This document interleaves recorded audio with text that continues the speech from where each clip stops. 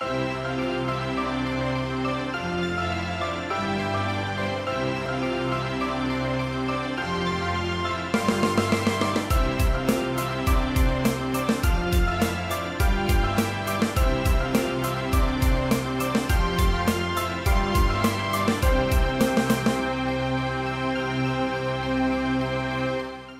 Hallo liebe Zuschauer und herzlich willkommen zur aktuellen Sendung hier bei Ihrem BLK Regional TV und das Ganze am Freitagabend. Schön, dass Sie wieder eingeschaltet haben. Jan Zeitz war am letzten Wochenende erhöhte Militärpräsenz zu sehen. Reservisten der Bundeswehr absolvierten den sogenannten Blüchermarsch. Was das ist? Wir sagen es Ihnen, denn wir waren natürlich mit der Kamera dabei. Gebhard Leberecht von Blücher, Fürst von Wallstadt, ist Namensgeber für den Blüchermarsch, der am 7. Juli in Zeitz durchgeführt wurde. Blüchermarsch, weil Blücher als Marschall vorwärts in die Geschichte einging. Doch was ist der Blüchermarsch genau? Ja, Hintergrund des Blüchermarsches ist ein Landeswettkampf für Reservisten, wo ich testen kann, wie fit sind meine Reservisten und da gibt es die unterschiedlichen Stationen. Wir haben heute also acht Ausbildungsstationen. Da ist eben Überwinden von Gewässern dabei, ein Seilstich dabei, Sanitätsausbildung, Karte Kompass, also alles, was man so als Reservist können muss. Er findet einmal im Jahr statt, regelmäßig im Burgenlandkreis. Wir machen das hier extra, weil wir hier auch in die Öffentlichkeit gehen, damit auch die Bevölkerung sieht, die Reservisten sind da, wir trainieren. Und das Trainieren ist insofern wichtig, weil wir auch immer wieder zum Einsatz kommen. Die Reservisten, die an diesem Wettkampf teilnahmen, machten dies freiwillig. Sie wurden zwar gezogen, könnten dem aber auch widersprechen.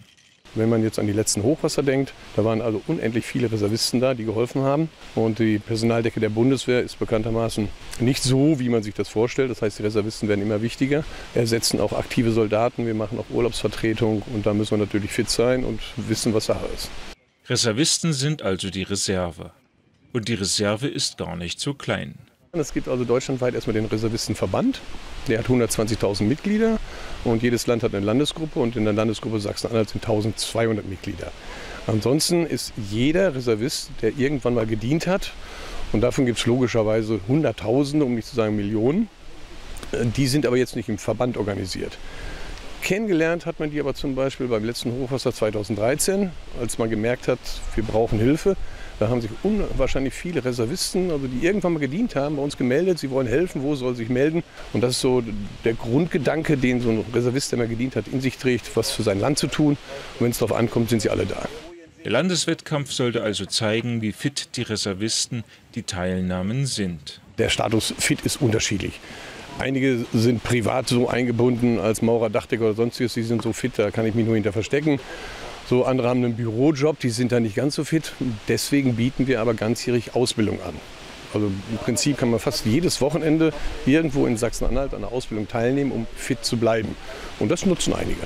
Da es sich um ehemalige Soldatinnen und Soldatinnen handelt, ist alles, was damit im Zusammenhang steht, Teil der Ausbildung. Wir bilden natürlich die militärischen Grundfertigkeiten aus. Meine Jungs müssen schießen können, sie müssen mit Karte Kompass agieren können.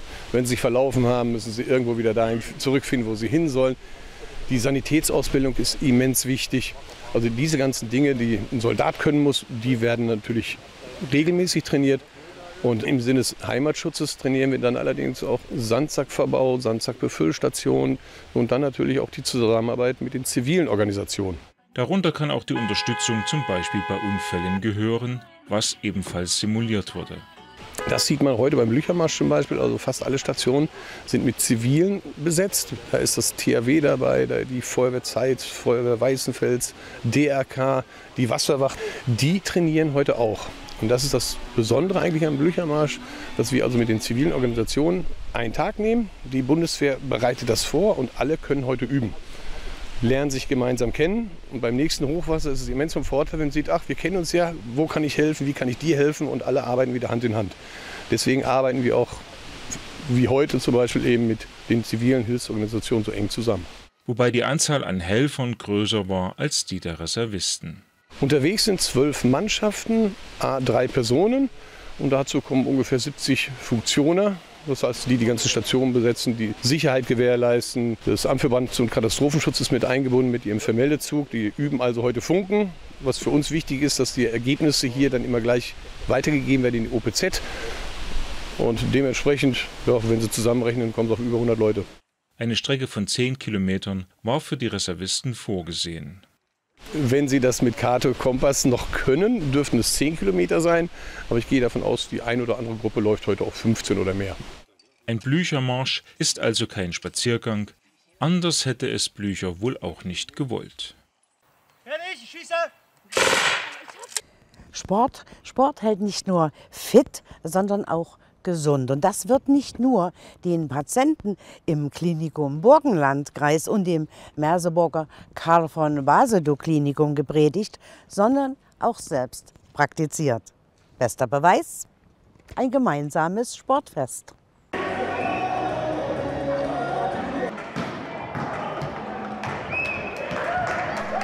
Reges Treiben oder besser gesagt sportliches Treiben herrschte in der Geiseltal-Sporthalle in Braunspetra. Es war die zweite Begegnung der Mitarbeiter vom Burgenland Klinikum und dem Karl von Basedow Klinikum Merseburg, mal nicht auf beruflicher Ebene. Sportfest, das ist jetzt schon im Klinikum hier eine Tradition? So ist es. Also wir haben das jetzt als so Tradition gemacht. Wir machen das jährlich. Einmal ein Mitarbeitersportfest und sind äh, seit vielen Jahren hier in Braunspetra, weil wir ideale Bedingungen finden. Und aus unserer Sicht gehört das mit dazu.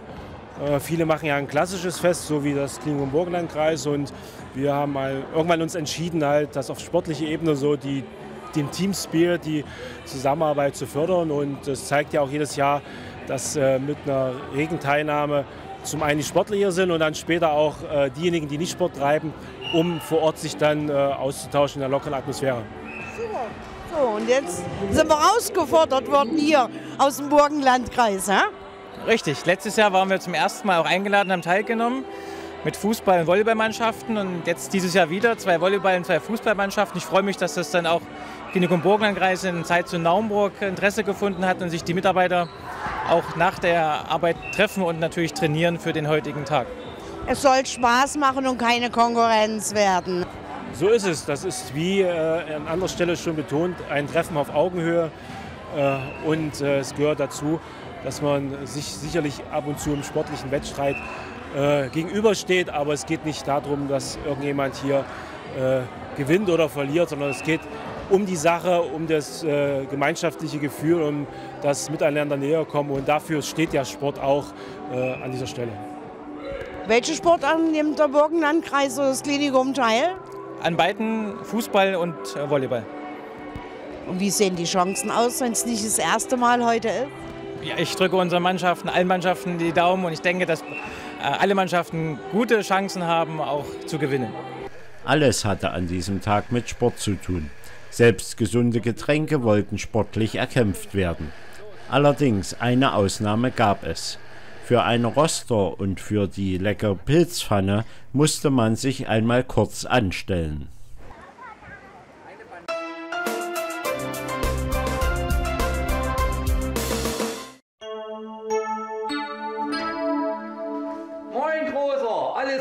Zum 18.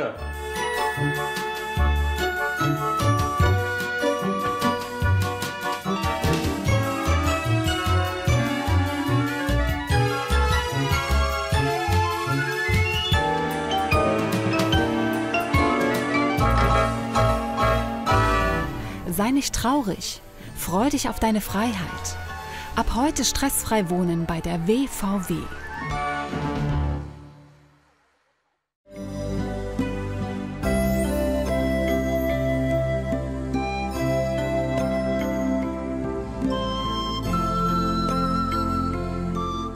Möbel. Wir bringen Farbe in Ihr Leben.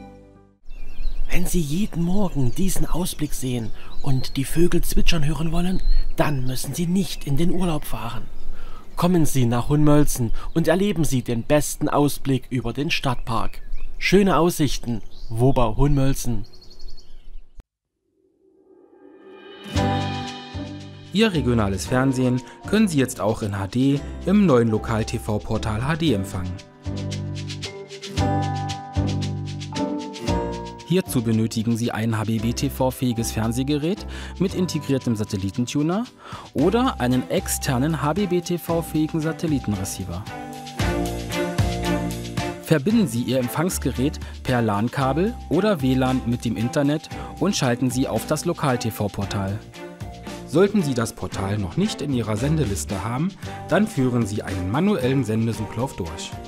Das Portal finden Sie auf der Frequenz 11.552 MHz unter der Sendekennung Lokal-TV-Portal HD. Sowie die Infotafel des Lokal-TV-Portal auf Ihrem Fernsehbildschirm zu sehen ist, sollte das Portal automatisch starten. Wenn die Menüauswahl bei Ihnen nicht erscheint, drücken Sie die rote Taste auf Ihrer Fernbedienung. Jetzt brauchen Sie nur noch das Bundesland und Ihren regionalen Sender auswählen. Mit der OK-Taste starten Sie das Programm.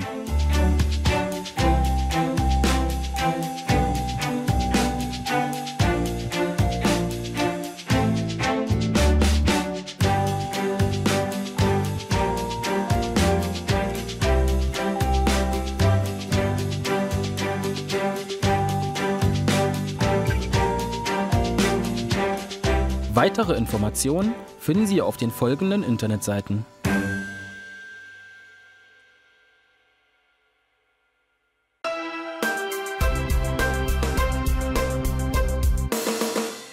Und auch an diesem Wochenende gibt es hier bei uns im Burgenlandkreis wieder so allerhand zu erleben. Wir haben wieder einige Tipps für Sie herausgesucht. Ja, hier unsere Veranstaltungstipps.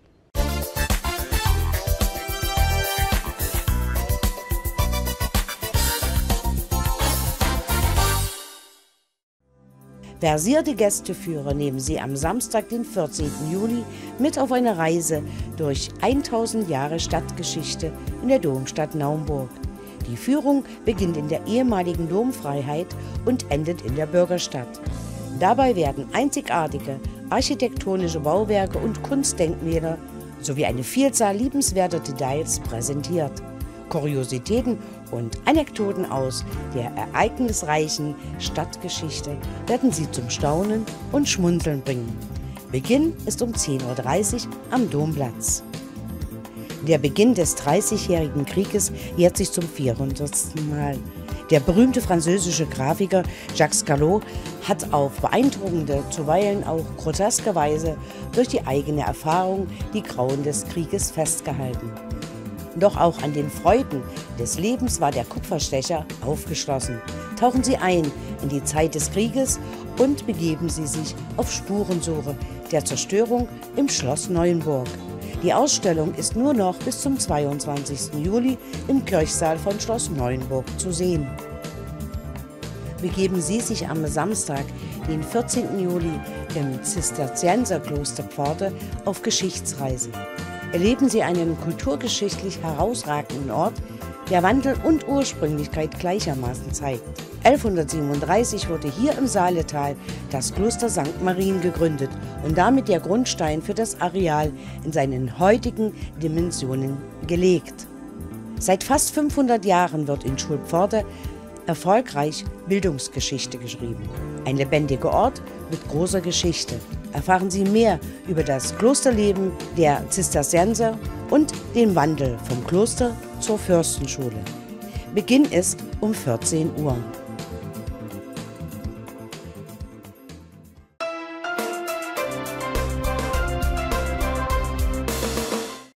Die Grillsaison ist eröffnet.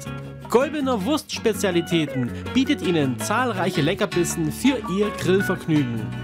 In unserem umfassenden Grillsortiment findet sich bestimmt für jeden Geschmack das passende Grillfleisch. Täglich frisch und selbstgemacht. Neugierig geworden? Dann besuchen Sie uns in einer unserer fünf Filialen. Denn ohne Wurst und Speck hat das Leben keinen Zweck. Auch im Alter schöner wohnen in einem angenehmen Umfeld. Wohnbau Theissen bietet Wohnen mit Ansprache und Geselligkeit in der neuen Begegnungsstätte Pekinger Straße in Zeitz. Übernachtungsmöglichkeiten gesucht? Die neuen Gästewohnungen sind geschmackvoll eingerichtet, auch für Behinderte entsprechend ausgebaut. Wohnbau Theissen, Weisenfelser Straße 6 in Theissen.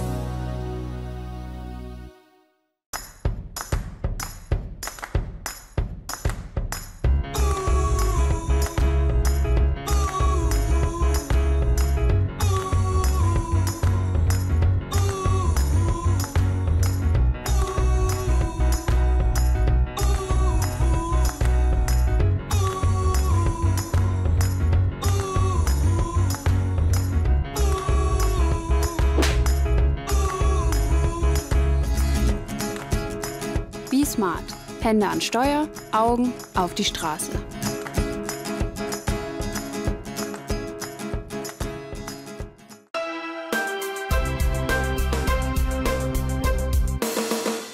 In unserer kleinen Serie 25 Jahre Straße der Romanik wollen wir Ihnen heute den Zeitzer Dom St. Peter und Paul etwas näher bringen.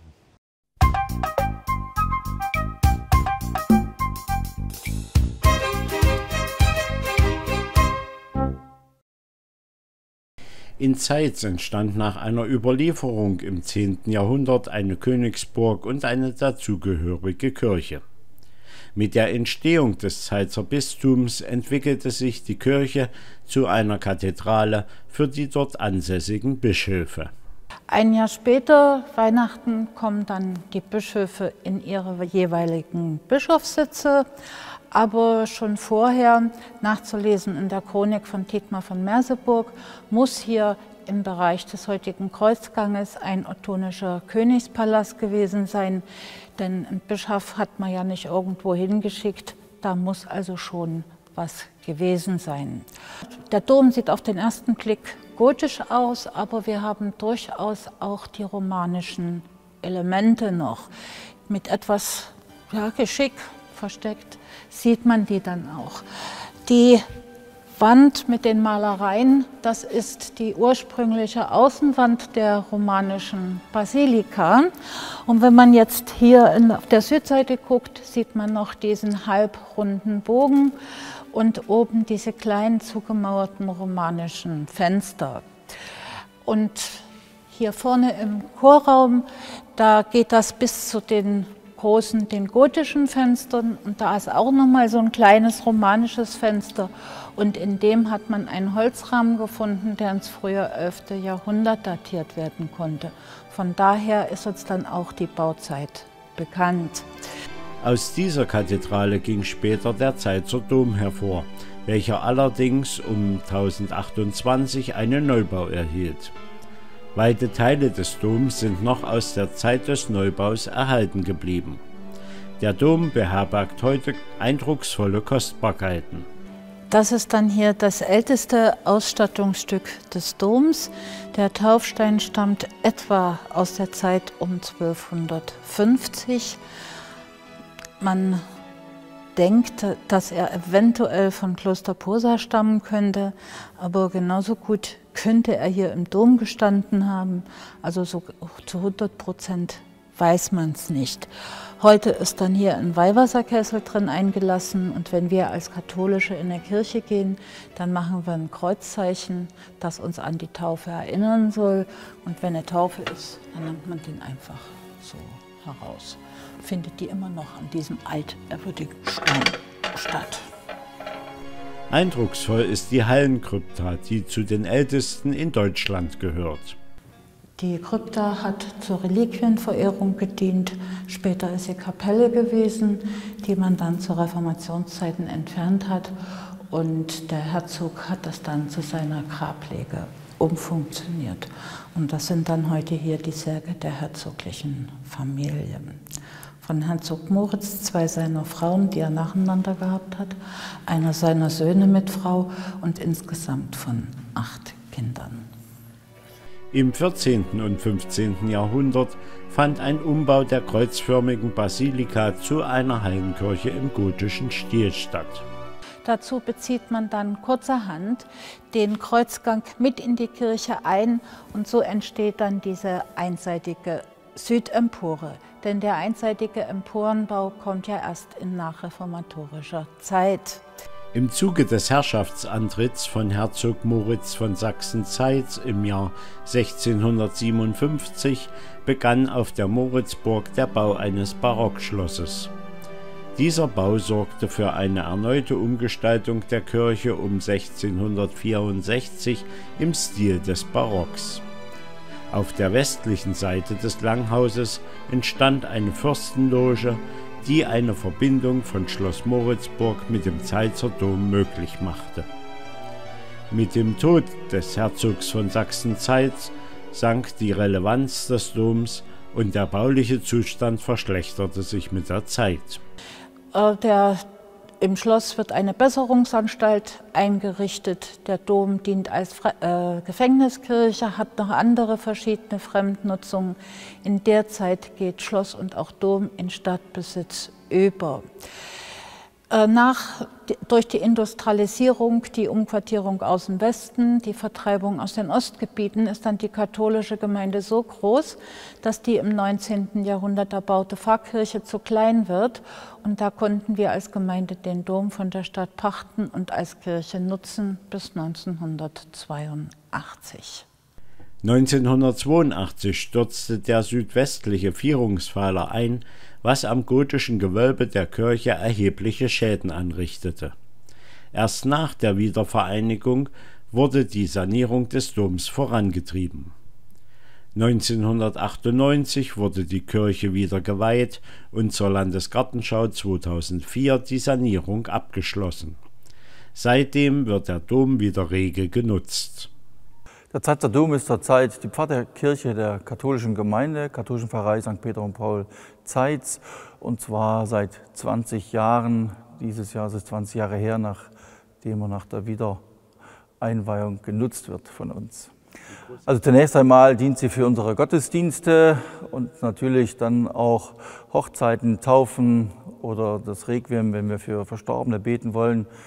Und andererseits ist es genutzt für äh, viele Konzerte. Es gibt da einen Förderverein für die Eulerorgel, die eine Konzertreihe veranstaltet. Es gibt andere, die hier regelmäßig Konzerte halten oder Anfragen von außerhalb. Also es ist hier ein dicht gefülltes Programm auch im Dom. Egal wohin das Auge blickt, im Dom kann man viele Kostbarkeiten entdecken. Die beiden Orgelemporen, angeregt von Heinrich Schütz, der barocke Hochaltar mit Palmbaumsäulen, Blatt- und Fruchtgehängen und dem Kreuzigungsbild vom Hofmaler Christian Schäfer sowie die Grabplatten zu beiden Seiten des Chores.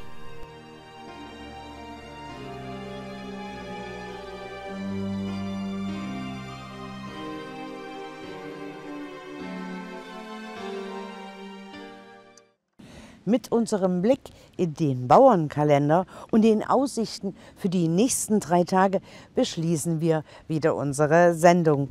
Und der heutige Spruch, der lautet wie folgt. Wettert der Juli mit großem Zorn, bringt er dafür reichlich Korn.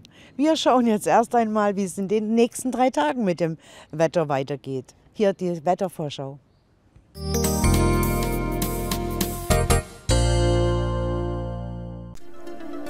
Am Sonntag ist es teils heiter, teils wolkig. Es bleibt weitestgehend trocken. Die Quecksilbersäule klettert auf 24 bis 26 Grad. Dabei weht ein schwacher Wind aus Nordwest. In der Nacht zum Sonntag gibt es wenige Wolken und es bleibt niederschlagsfrei. Die Tiefstwerte liegen zwischen 13 und 9 Grad. Es weht weiterhin ein schwacher Nordwestwind. Der Sonntag präsentiert sich heiter und niederschlagsfrei. Bei schwachem Nordwind liegen die Tageshöchstwerte zwischen 22 und 26 Grad. In der Nacht zum Montag ist es gering bewölkt. Niederschlag wird nicht erwartet. Die nächtlichen Werte liegen zwischen 16 und 12 Grad. Dabei weht ein schwacher Wind aus nördlichen Richtungen. Am Montag wird es überwiegend sonnig sein. Am Himmel gibt es kaum Quellwolken oder nur dünne Schleierwolken. Bei einem schwachen Wind liegen die Tageshöchstwerte bei 28 Grad.